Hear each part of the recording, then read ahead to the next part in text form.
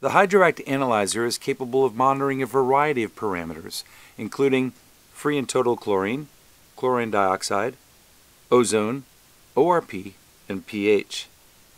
The sensors are simple to install and operate, have no moving parts, and do not require a monthly replacement of reagents. We will demonstrate the easy setup and calibration of Chemtrac's free chlorine monitor, which consists of a HydroACT analyzer, a free chlorine sensor, and a sample flow cell.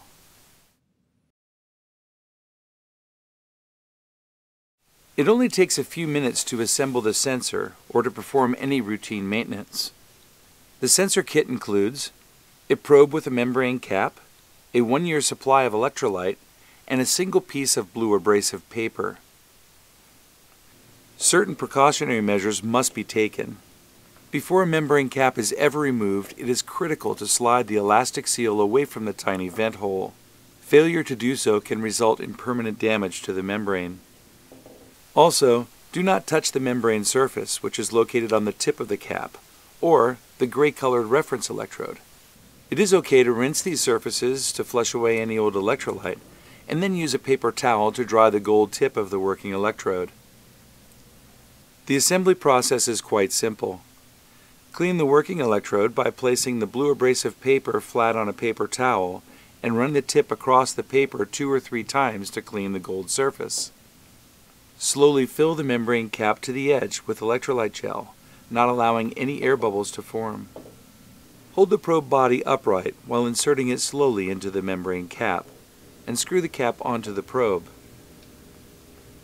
Rinse off any excess electrolyte that escapes from the top of the cap and through the vent and then dry the probe exterior. Now be certain the membrane cap has been hand tightened as far as it will go. Finally, slide the elastic seal into the slotted position over the vent hole, making sure that the seal is seated correctly and not twisted. For some earlier free chlorine probe models, an additional much smaller cap, referred to as a G holder, was required and included in the kit.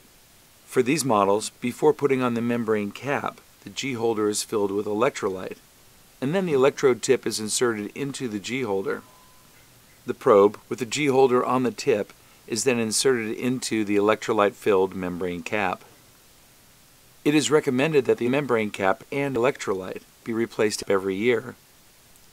The HydroACT Analyzer provides maintenance reminders for when the electrolyte and the membrane cap need replacing. The sensor flow cells are essential to the proper performance of the analyzers. A dual chamber model is also available for use with a second probe, such as pH or ORP. For the dual flow cell, the chlorine probe should only be used in the second flow chamber, the chamber on the right. As a general rule, the flow cell should be positioned no more than 50 meters from the HydroACT analyzer. The sample outlet should flow directly into an atmospheric drain. The flow cell is vented and will not achieve the proper flow rate if there is any back pressure or flow restriction caused by the drain line. When installing, slide the PVC fitting over the probe and then insert the probe into the flow cell. Adjust the PVC fitting so that the probe tip is positioned just above the horizontal sample flow tube near the bottom of the chamber. Water exiting this tube needs to pass across the tip of the probe to prevent bubbles from forming on the membrane, which could subsequently impact the accuracy of the chlorine reading. Connect the sample tubing to the inlet fitting on the flow cell and start the flow of water. The recommended minimum flow rate is 500 milliliters per minute, but higher flow rates of 700 to 900 milliliters per minute may be needed to keep the membrane free of bubbles.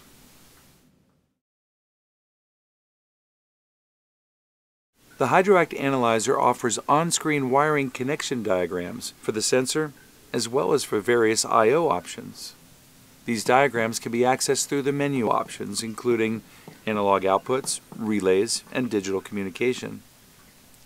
The faceplate can be moved to a raised position to reveal the connection terminals and allow for easy wiring access.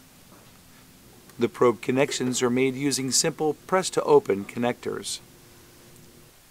When the probe is initially connected to the analyzer, the display will indicate that it's in a warm-up phase. The warm-up and stabilization period should be a minimum of two hours, and during this time, the sample flow must have a chlorine concentration that is greater than 10% of the range of the probe. So for a 0 to 5 ppm probe, there should be at least 0.5 ppm chlorine in the water.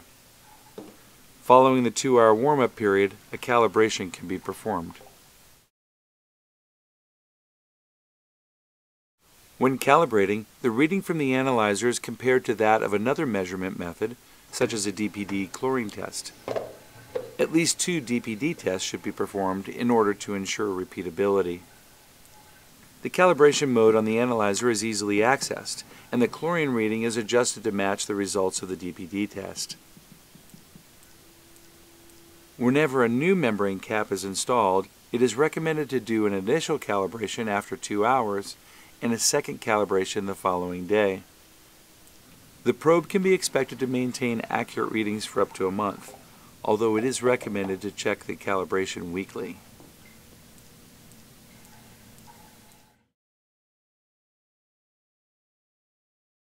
The HydroACT Analyzer provides a graph display for reviewing historical readings and a service log, which allows the user to view when the calibrations were performed as well as when any alarm events took place.